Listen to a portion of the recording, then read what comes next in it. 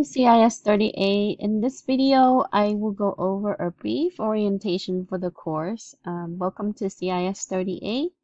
In this course, you will be using Canvas, in which you will be able to access the course resources such as tutorial video, assignments, labs, quizzes, and exam. So when you log into Canvas, you will see a module and I design each of the module to basically cover the unit content. So in the first module, it will give you all the course information.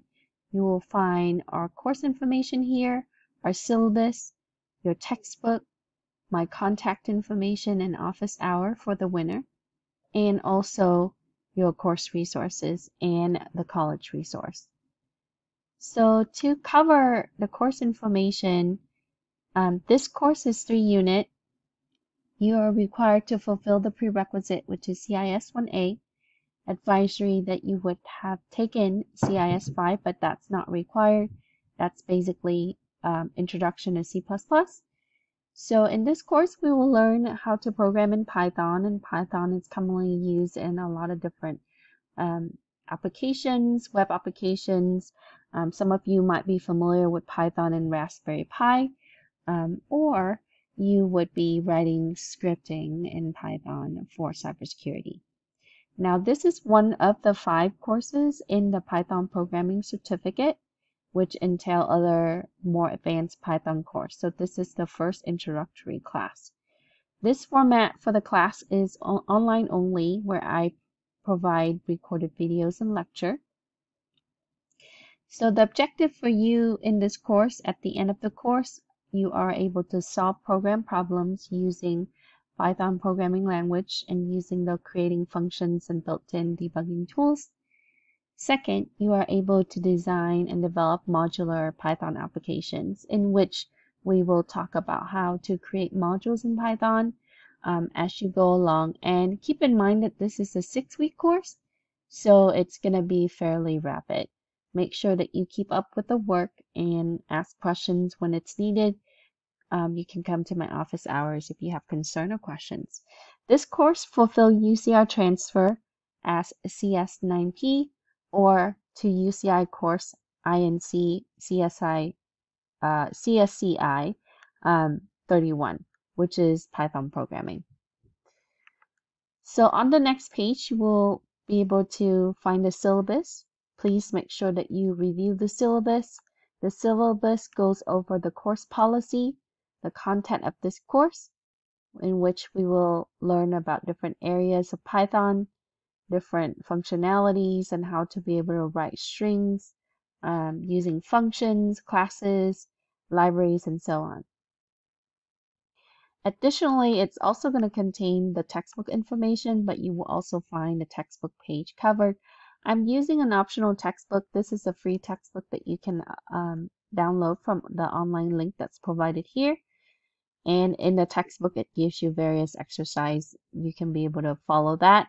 However, I do provide notes um, for each of the units, so you can use my note document in addition to the textbook.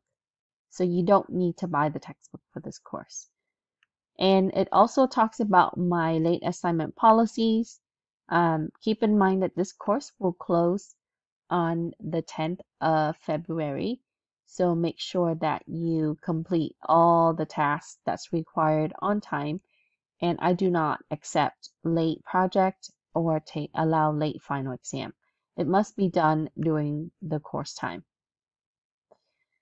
Um, there will be different categories that will be used in the grading. Quizzes is 15%, assignments and participation is 30%. So I expect that you complete the assignments, weekly assignments, um, or periodic assignments, and you also actively participate in discussion and required tasks in this course. That's going to be 30% of your grade. Lab activities in which you will have hands-on practice. We will learn how to solve problem with Python through our labs and that's going to prepare you for your course project that will be 20% of your grade. Your course project is 15% of your grade in which you will apply all the concept that you've learned in this class throughout the five weeks and you would be able to produce An output for this will be a program in Python, um, and you can pick different cases for the project. Your final exam is going to be 20%. It is multiple choice. It's going to be via Canvas.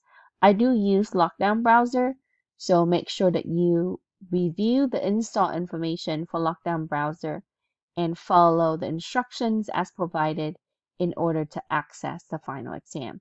Additionally, it is password protected. I will release the password information during the last week or the week of the final exam.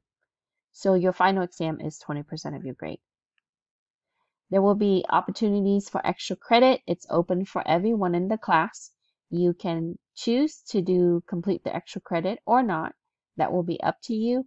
All extra credit will be added to your overall grade at the end of the course. So throughout the course, if you completed the extra credit, it will not be weighted in until the end of the course. The code of conduct here, so make sure that you respect other students, you treat people fairly, in the class and I will be monitoring the discussion and the chat sessions accordingly. Any kind of behavior issues or anything, please contact me or let me know. I also do not tolerate cheating. So if you copy and paste somebody else's program and submit that for your own, that's an automatic zero and possibly dismissal from the course. My contact information and my office hour for the winter is listed here. Winter office hour is not required, but I make it available for you. So that way, in case you need help or have questions, please, you can sign in on Zoom. But if the time doesn't work for you, you can schedule an appointment to see me. So my contact information is provided on the first module in Canvas and also on the syllabus. Then you can find the textbook information and so make sure that you go through the first module, um, identify the things that you need. I also provided college resources, your course resources like how you can gain additional knowledge or tutorials, um, access. You can find that here along with programming challenges to make yourself a better programmer or a person that will be able to write Python programs better. The certification for Python is links are listed here. You can pursue Microsoft certification or you can pursue you can pursue OpenEDG Python certification or known as PCAP. Um, this is certification is useful. However, in development, people have mixed feeling about certification, so you can choose to do it or not. So as an RCCD student, you should have access to Office 365. I mostly use Microsoft Office, uh, like such as Doc, Word Doc for most of my assignments and my notes. So if you don't have Microsoft Office application, make sure that you download it or access your online account so you will be able to, to view your documents. Additionally, if you are using a Mac, when you submit your assignment please make sure that you have it in PDF um, as I cannot access the pages file if you submit it in pages. So make sure that your submission is in docx or PDF. And the link for Microsoft Office 365 is here and you so you can look at how to be able to install Office.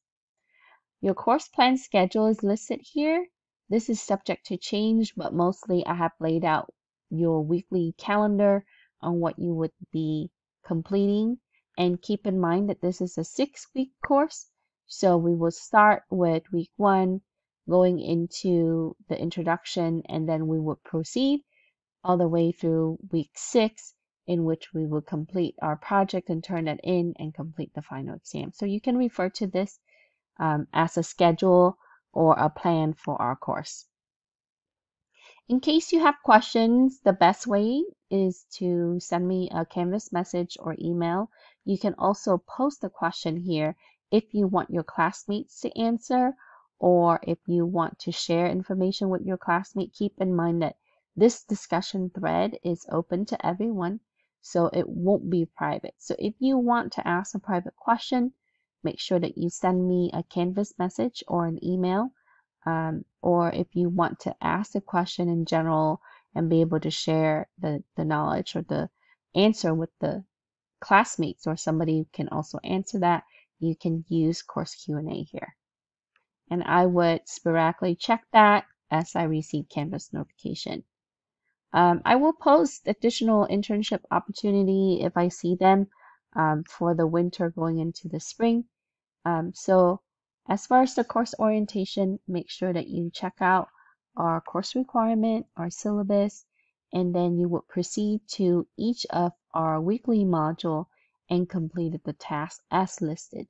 So the way that you should view the course content is through the module tab.